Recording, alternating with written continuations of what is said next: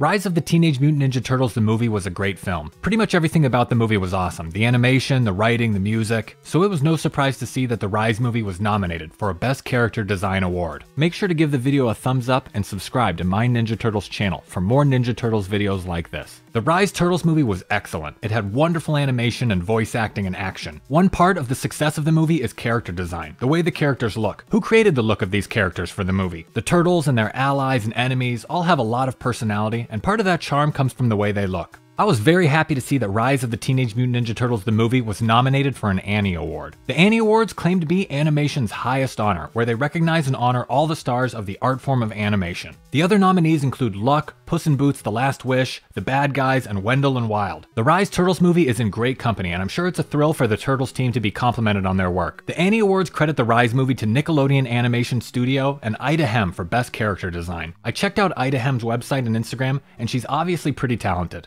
She shares behind the scenes sketches and drawings of characters from the Turtle show and movie. It's great to see alternate takes and early drawings that led up to the Rise movie. It's really fascinating to see how these preliminary drawings translate into the final product. A lot of the angles and emotion are already present in these early character design sketches from Ida Hem. I love behind the scenes info and I really enjoy seeing how movies are made, and Ida Hem's Instagram is a jackpot for Turtles content. It looks like Bryce Collins and Dan Holland are credited with character design as well in the end credits of the movie. This team did really great stuff with this film. Every frame of the movie and show was stuffed with beautiful visuals. The color, the movement, and all the people, props, environments, and creatures are terrific. And this nomination for Best Character Design isn't the Rise movie's only nomination for an award. The Rise of the TMNT movie is also up for an award for Outstanding Achievement in Sound Editing. The movie is part of the 2023 Golden Reel Awards Sound Editorial nominees. The movie was full of amazing sounds. The music, the sound effects, and voice acting were all top notch. The Rise of the Teenage Mutant Ninja Turtles movie even won an award for Best Ninja Turtles Movie of the Year here on My Ninja Turtles channel at the 2022 TMNT Awards show. I'm sure hundreds of people worked on the Rise of the Teenage Mutant Ninja Turtles movie, and I feel each and every one of them deserve an award for their contributions. The Rise of the TMNT movie was bold and dramatic and exciting, and many Turtles fans feel that the movie was the best part of the entire Rise series.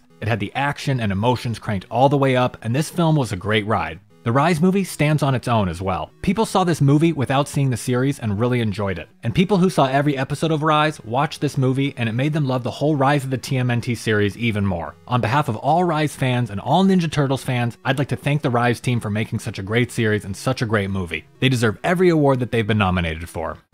Thanks for watching. Feel free to leave a comment and share this video. Make sure to give the video a thumbs up and subscribe to the channel for more Ninja Turtles videos like this.